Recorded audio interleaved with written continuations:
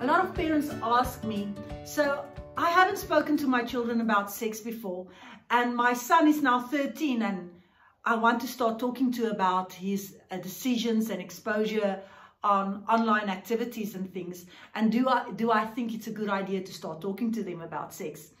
Now, I believe we need to start much earlier than teenagers' years. But let's say you haven't started talking to your children about sex and they are approaching their teenagers' years. Now, I believe you need to now do a little bit of damage control because they might have heard and seen some things before. But don't despair. You are here. You are ready to learn more things. So let me help you to start the conversation with our kids. And I call it set the stage. You can prepare and set yourself up to start a conversation positively with your teenager. So don't just wait until he's exposed to something that will get him into trouble, like pornography or you find him masturbating or viewing a dirty movie or things like that. Don't wait until that. You know in your heart you need to start talking and you don't know how to approach this. Let's set up a, opportunity for you to start the conversation with good questions and you set it yourself up to that. So I don't like the traditional way that we would go away for a drive and now mom or dad's going to give you the talk. I like it when it's a little bit more um, less uncomfortable for both parent and child, but it's more in the spur of the moment, or the child will feel it's more in the spur of the moment, but you set the stage beforehand. So I like doing that. So normally I would start the conversation with fire. I like the fire ex explanation. So I will have a barbecue with my child and set it up to say, is fire good or bad? So while you are building this fire, now in South Africa, we don't do a barbecue, we braai. But it's fine. We can say barbecue for all the other people over the world. But let's say we're going to make a nice braai or barbecue. And I, as you are building the fire, you ask your child, is fire good or bad? Can you see you're setting yourself up to start a conversation about passion?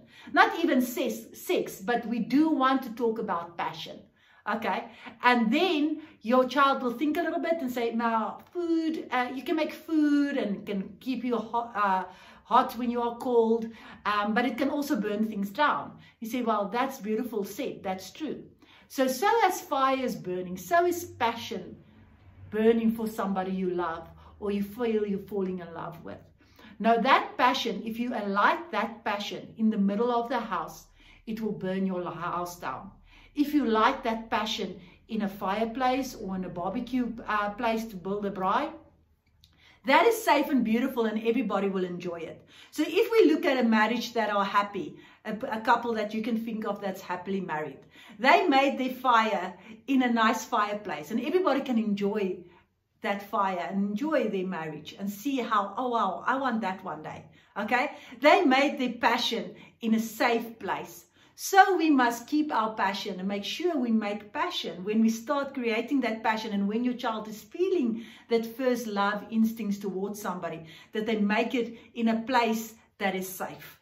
Now, as a, I believe the safest place is in a marriage relationship. That's a clear boundary. Um, saying when you are ready I'm not sure if that's a clear boundary, but that's up to you as a parent. But when I talk to children, I would say the clearest and safest boundary is marriage because you know that person is committed. If you like that fire, that passion, and uh, outside of a safe boundary, it will surely burn your house down. So let's teach our children and start setting up a stage for you to say, okay, I can start talking to my children about sex. So that's just passion. And we didn't even use the word sex in that example.